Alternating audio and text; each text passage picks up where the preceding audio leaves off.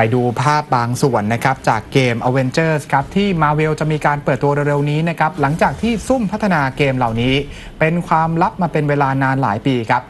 แฟนๆ Avengers บอกว่าในการเปิดตัวเนี่ยมีการปลอมตัวมาสัมภาษณ์งานเลยนะครับ ถึงขนาดสืบเรื่องของความลับที่จะเจอได้ในเกมชุดนี้เกม Avenger จะเริ่มเรื่องที่ Avenger 5คนครับ มีกัปตันอเมริกา Iron Man The Hulk Black Widow แล้วก็ทอ ที่เริ่มต้นกันที่ซานฟรานซิสโกนะครับยานลำใหม่ของ Iron Man เนี่ยถูกจี้แล้วก็เกิดระเบิดออก แล้วก็ดำเนินเรื่องกันไป แต่ทีนี้ข้อสังเกตก็คือว่าหน้าตาของตัวละครเหล่านี้ในเกมจะแตกต่างจากที่เห็นในภาพยนตร์นะครับ เพราะว่าในเกมนี้จะเป็นการรับบทโดยนักแสดงที่โด่งดังในวงการเกม อย่างเช่นทรอยเบเกอร์เจฟไชน์เทรวิสวิลลิงแฮมลอร่าเบลลี่และก็โนแลนนอร์ทครับ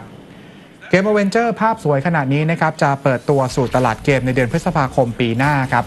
แต่ว่าข่าวดีของลูกค้า PlayStation นั้น จะมีโอกาสได้เล่นเกมนี้ก่อนเกมคอนโซลประเภทอื่น ๆ ครับ